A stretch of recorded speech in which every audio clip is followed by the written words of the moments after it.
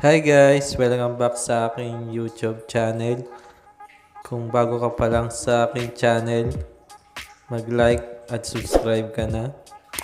Pindutin mo na rin yung notification bell para lagi kang updated sa mga bago kong video. So ngayon guys, ang ituturo ko sa inyo is yung AutoCAD screen parts. So yun, mag-start na tayo. Ah, bale, dito muna tayo magumpisa sa makikita nyo tong logo ng AutoCAD. Ito, pag click nyo, lalabas dito. New, drawing, sheet, open, and open drawing sheet. Ito yung tinatawag natin na menu application. And ito, save as, export, yan, dito nyo makikita. Print. Yan, yun yung menu application. Next na natin is yung quick access toolbar. Ito. Quick access toolbar. Dito makikita mo yung redo, undo, yan. Plot, open file, parang save as, parang ganun din sa menu, menu application. Next natin is yung ito, tinatawag nating search bar. Ito. Itong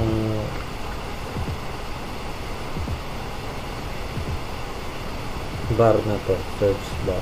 Yan. Then next natin is itong malaking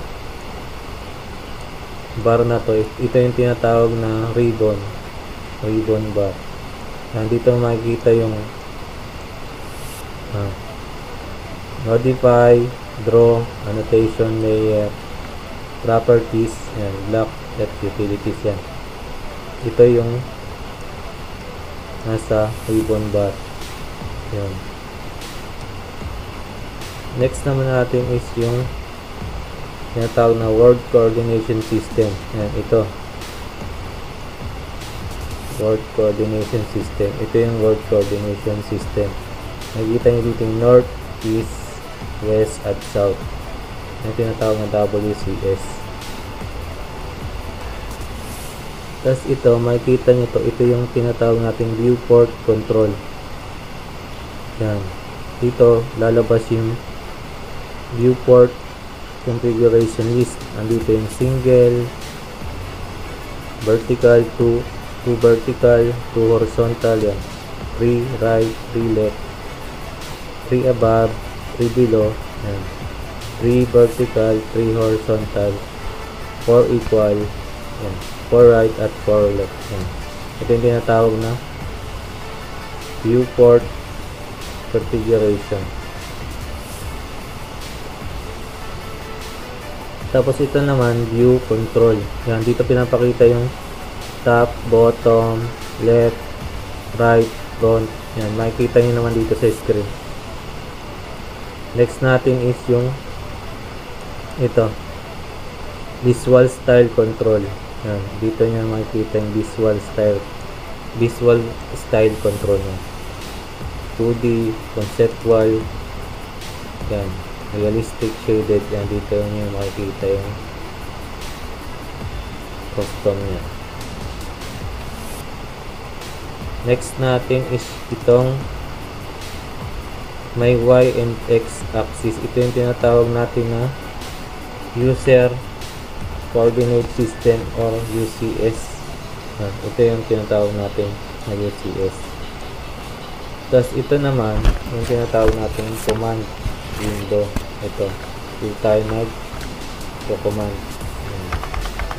Command. Dito, ito ang tinatawag na command window.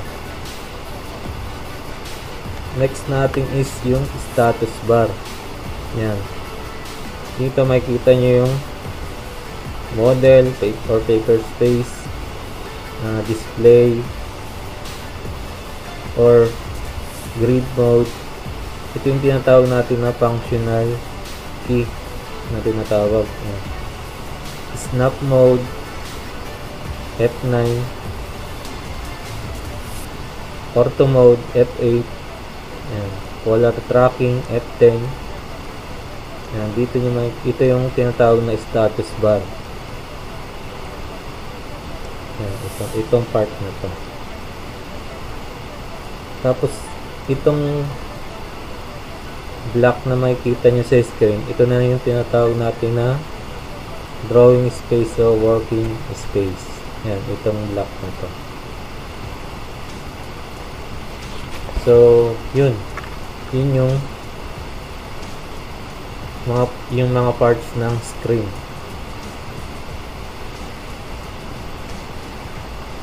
So yun guys, sa next video natin, ituturo ko sa inyo yung mga basic command. Yun. So yun guys, hanggang dito na lang muna. Shoutout nga pala kay Mikey T. Paras at kay Jasmine Natal. at belated happy birthday kay Sir Josh. Like, share, and subscribe.